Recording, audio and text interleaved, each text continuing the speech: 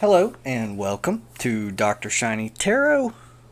Uh, this is a reading for the month of November for my Aquarian friends. And uh, if you haven't already done so, please check out my introduction video uh, where I explain a little bit more about how I read the cards and what my method is, all that. It's very valuable. So uh, I will go ahead and start with your Celtic Cross. It's good to see you. It's been a while since I have done a reading. So let's see what we have.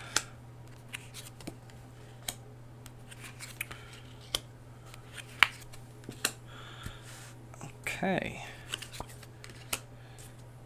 Now, typically you would draw these last four cards all in one row, but I don't really have enough space on the desk, so we're going to put it on the side there. Okay. So, your current situation today is the Six of Swords, and the Six of Swords is about a sort of painful transition. Uh, it's a necessary transition. It's something that you have to go through, and it's for the best. It's not necessarily like a death or or something like that, which is really weighing heavy on you. Well, it could be, but it it's really more of uh, something that you just got to put your nose to the grindstone and just do it. And it's not fun. It's not something you want to be doing, but you got to do it. So it's uh, what's crossing you or what's influencing you is the chariot in the reverse. And the chariot in the reverse is about sort of being resistant to change, being resistant to a new form of life. The chariot is about sort of outgrowing your situation and maturity, right? And uh, accomplishment also. So you've been successful, and there is a sort of comfort that comes with that success that you don't really want to move away from yet. So you want to kind of stay in that um, comfort zone, right? But it's time to move on, and um, you know, it'll be okay. the recent past, you have the uh, Ace of Pentacles or coins. Coins represent the material realm.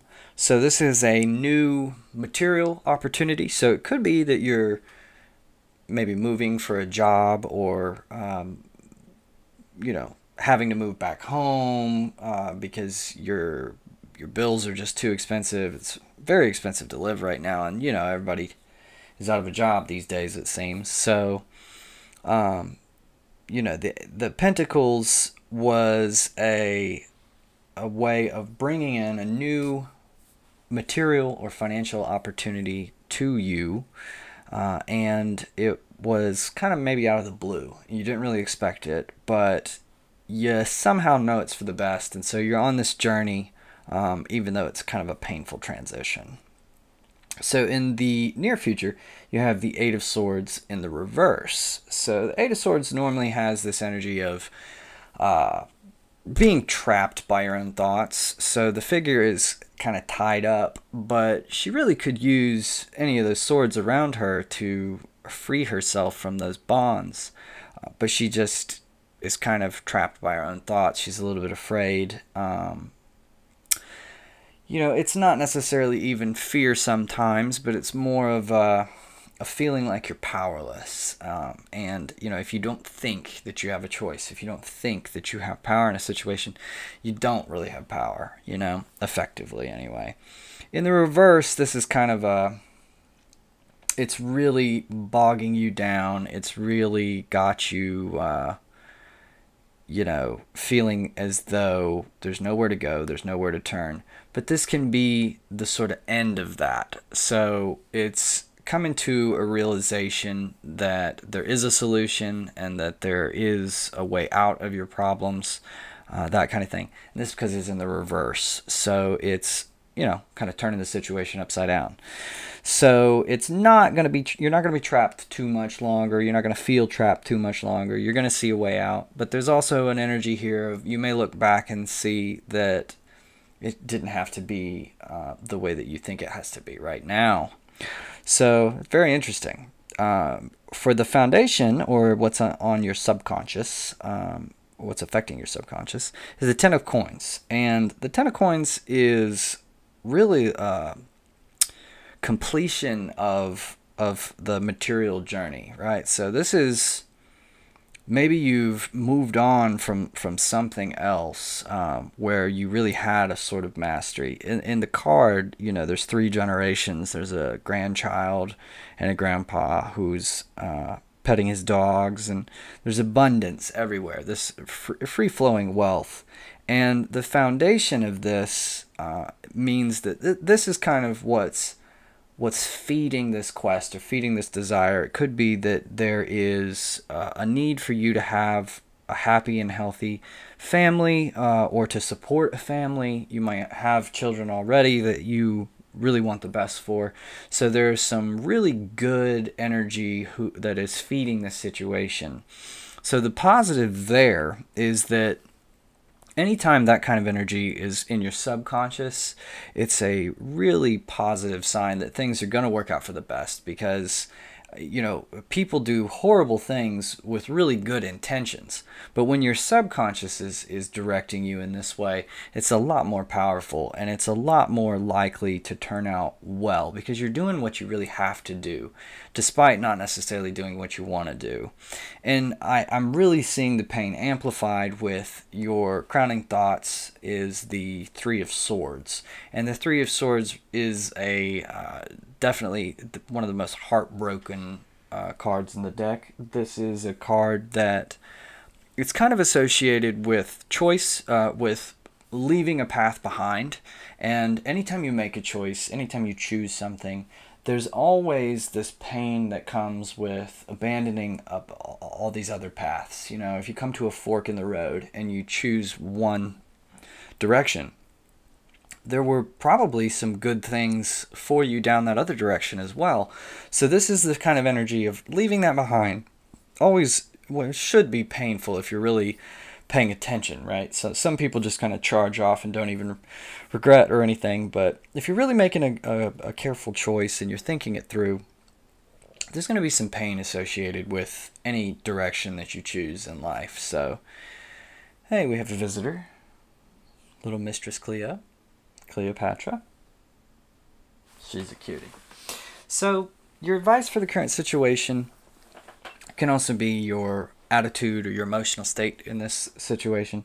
Uh, is the magician in the reverse. So, you know, I'm thinking that the and this doesn't really fit with the tone of the rest of your reading so far. So what I'm thinking is that this is advising you to be a little bit um, more headstrong, more confident in your your abilities. So the magician in the upright is kind of a, a card of manifestation. Whatever you imagine comes to be, right?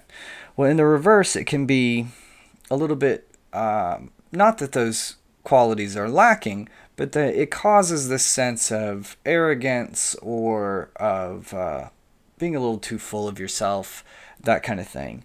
So I think in the context of this uh, reading, there's two ways this might affect you. One of them is maybe you're being a little bit too arrogant with people who are involved. You might be dragging somebody along with you on this journey, on this difficult journey.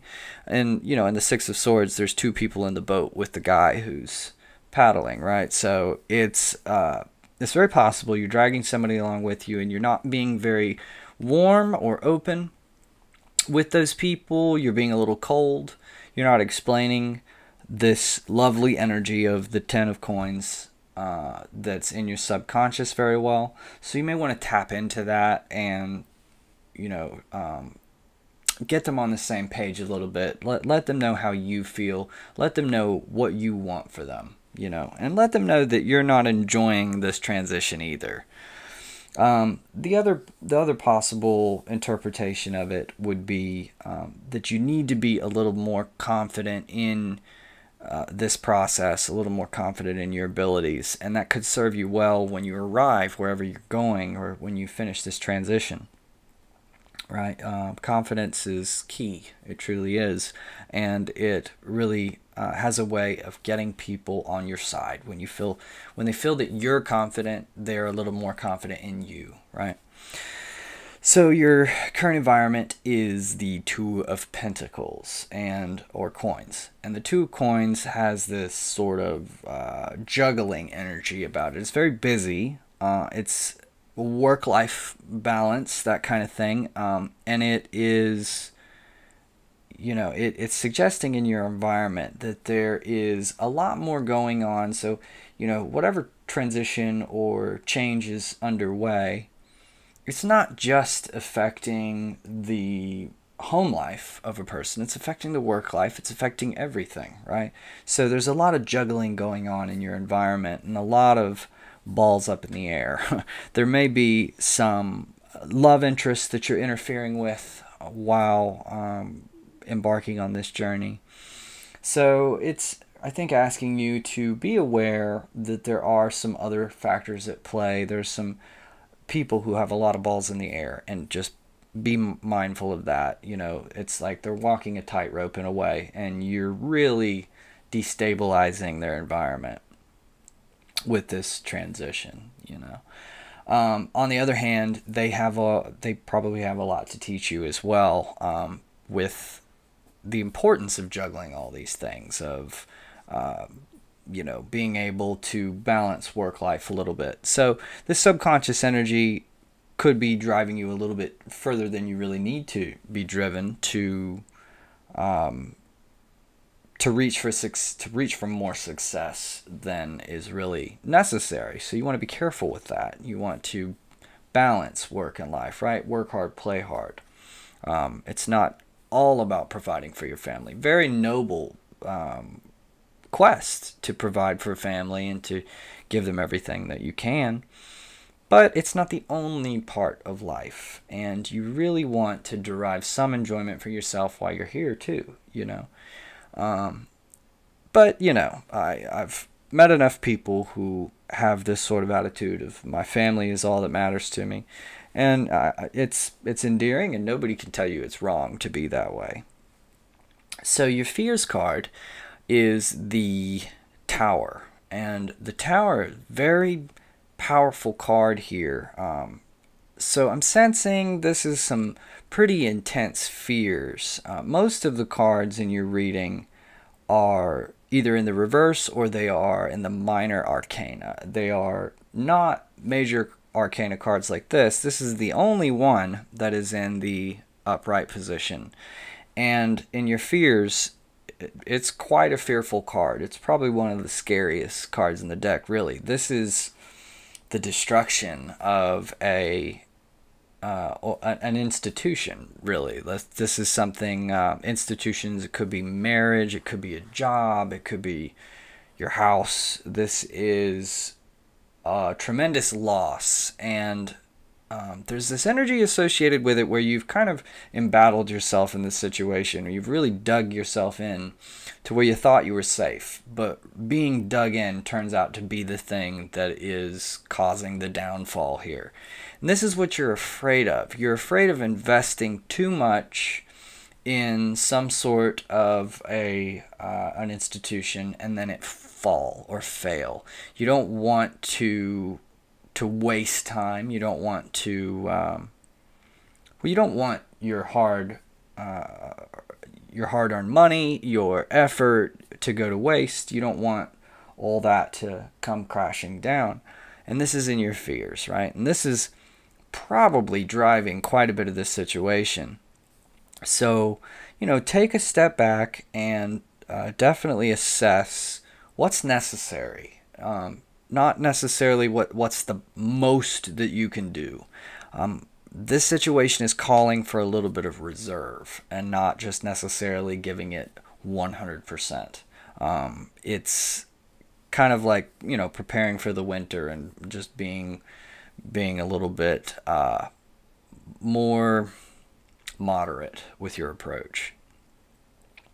So the final outcome or the overall message, kind of the direction that this is heading, is the Three of Wands, which is kind of interesting because as far as the direction this is heading, this card has this energy of a journey is sort of beginning or maybe not necessarily a journey but an endeavor right? The the wands represent action and uh, or acting. And the three of wands there's another kitty. How about that? That's stella the three of wands has uh, this sort of a, a, a direction is chosen there's also a feeling of uh, doing something when the time is right Okay, so this is uh, timing is everything. And this is about even the, the right actions can sometimes backfire if you don't pay attention to your timing, right? This is about choosing a direction and being very concise with that direction. So the final outcome here is, uh, you know, really it's asking you to stop dithering and to to really fall into your your decision, to really go for it, um, but to also realize that now may not be the time to execute your plan. That there may be uh, some value or some benefit in preparing a little bit better for what you're about to do, right? So this is uh, all about the the preparation, the initial steps, and it's you know there's there's sort of a an energy of you already know what you're going to do. You already know which way you're going to go. There's you're not frozen in in trying to decide, but it's really about being sure-footed and having the the proper preparations in place so that your endeavor is successful.